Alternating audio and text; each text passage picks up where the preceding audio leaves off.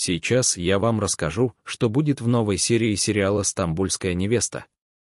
Не забудьте поставить лайк нашему видео. Пока Фарук Баран проводил презентацию на своей работе, его арестовала вошедшая полиция. Поскольку Фикрет ранее совершал набег на особняк Адема, Адам показал, что если со мной что-нибудь случится, ответственность за это несут бараны. Когда Фарук, которого он на глазах у всех спровоцировал, избивает его, его заявление принимают за групповое преступление. Гариб приходит немедленно, но у Фарука неутолимый гнев. Он очень сильно ругает Сурею, которая пришла сюда, чтобы поддержать себя. Девушка очень расстраивается и уходит. Когда Дилара, находящаяся рядом с Османом, узнает о случившемся, она немедленно идет к Адаму и просит его забрать ее жалобу. Осман, ожидающий девушку у дверей старинного особняка Баран, помнит воспоминания. Пообещав поговорить и выслушать Дилару, она не дает Адаму отозвать свою жалобу и тем самым не дать делу дойти до прокуратуры. Таким образом, Фарук освобожден. Сюрея ведет себя сдержанно и отстраненно по отношению к своему мужу.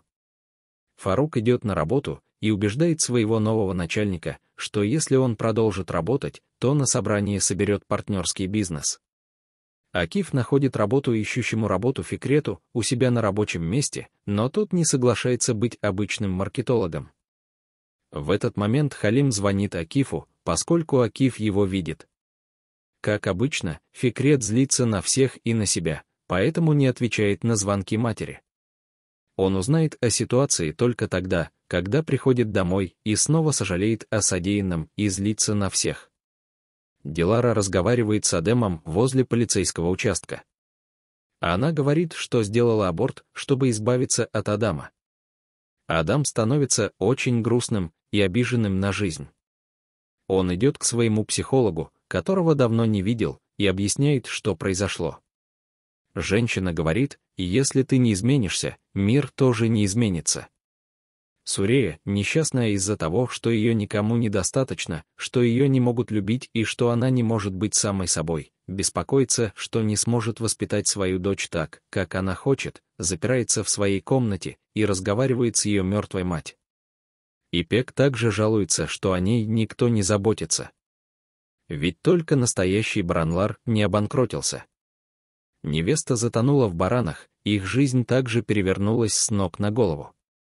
Дилара мечется между правдой, которую она сказала Адаму, и тем, чтобы не причинить вреда своему ребенку. Она почти уверена, что если не сделает аборт, то не сможет избавиться от Адама. Осман беспокоится за девушку, открывает ноутбук, на который она смотрит, и видит клинику, где делают аборты. В конце серии он догоняет и отговаривает девушку. Фарук все терпит, но эта ситуация заставляет его нервничать. Адам разговаривает с Сурией и просит ее убедить Дилару поговорить с ним. Когда Сюрея не соглашается на это, он не позволяет ей выйти из кафе. Когда Дилара узнает о ситуации, она немедленно отправляется туда. Тетя Саним немедленно сообщает об этом Фаруку.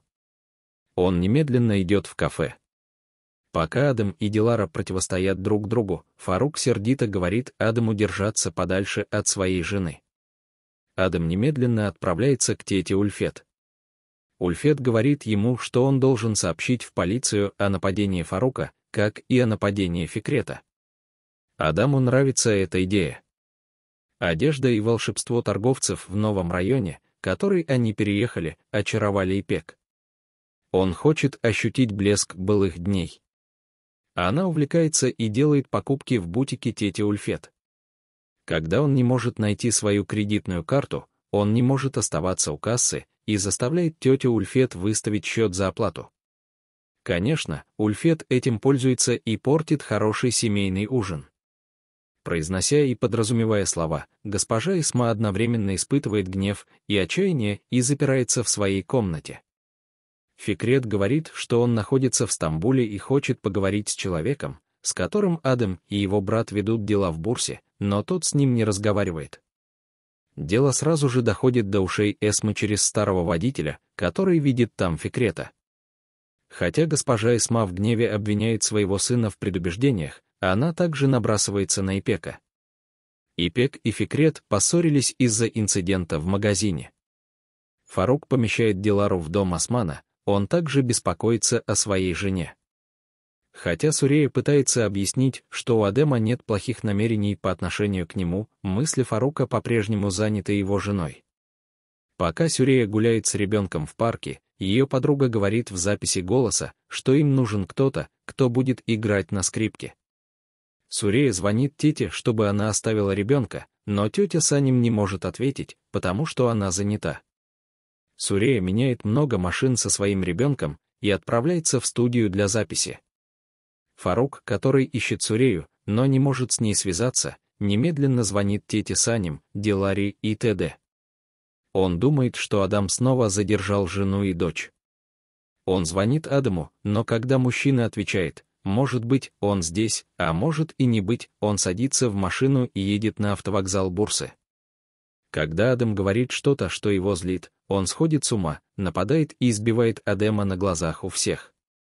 Сурея звонит Фаруку, когда они делают перерыв, чтобы поговорить по ее телефону, который там, где она находится, не принимается.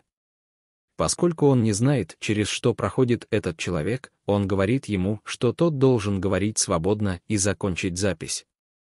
Фарук сердито приходит в студию, забирает жену и ребенка и отвозит их домой, хотя у него назначена встреча. Фарук входит на встречу и очаровывает всех. Ни в ком не останется никаких вопросительных знаков. Пока не пришла полиция и не обвинила Фарука Барана в покушении на убийство. Все стоят в растерянности. Тем временем Гариб спустя много лет заходит в бутик Юльфета. Женщина наполняется надеждой и волнением, но когда узнает, что разговор идет об Эсме и что они все еще встречаются, злится еще больше. Гариб неявно советует ему больше не жить прошлым и не проявлять враждебности. После ухода Гарипа мы узнаем, что Ульфет была человеком, который в прошлом разорвал отношения между двумя любовниками, сказав, что Эсма дала обещание своему брату и что они скоро поженятся. Хотя холодная война Эсмы и Ульфет, кажется, продолжается, на самом деле они кипят внутри, и вскоре холодная война перерастет в горячую пока ситуация развивается с небольшими трениями и закулисными высказываниями. Например, во время их встречи в начале эпизода они, не колеблясь, время от времени подкалывали друг друга. Но я думаю, что в этой речи Эсма, ставшая матерью, хлопнула себя в лицо бездетности Ульфет, в то время как Ульфет, у которой есть карьера, сказала, что она принижала свое домашнее хозяйство, не устроила. Я осознаю, что они ждут возможности раскритиковать друг друга, но я бы предпочел, чтобы они не делали этого этими предложениями. На этом наше видео «Стамбульская невеста» закончилось. Не забудьте подписаться на мой канал. Увидимся в следующих видео, пока.